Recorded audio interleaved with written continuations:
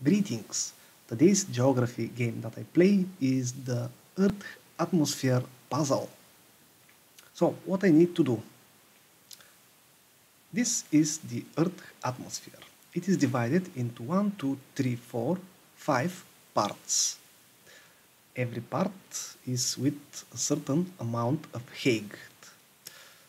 So when I sort three all of the objects or events that appear on the appropriate layer, the name will appear.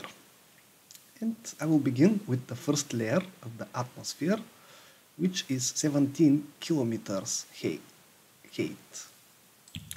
There should be where birds reach, where the balloons fly, and where the ordinary clouds appear. And this is the troposphere. This is the first layer of the atmosphere. Now let's see the second layer. Now what I know is that between the second and the third layer is the ozone layer. It is right here. And then I will place the rest of the parts that should be some planes, the spy planes that are spying each other, the weather balloons, and uh, okay, the shuttles are in the port. Ah, of course, the planes. and this is the stratosphere. So the stratosphere is with approximate height of 50 kilometers and this is where we can see the planes fly. And this is the lower boundary, boundary of the ozone layer. Now let's see the third layer. This is where the, uh, not the aurora clouds, but okay, the, the no sound. Okay.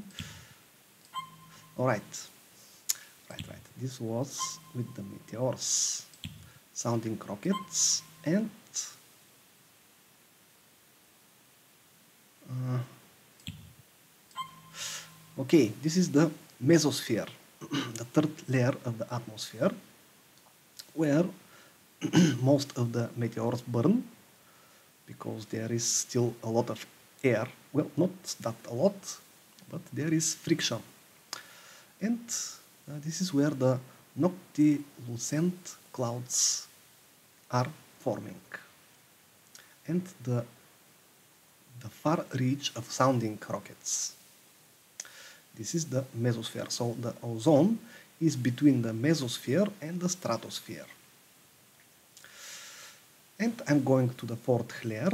This is where the sound stop to exist because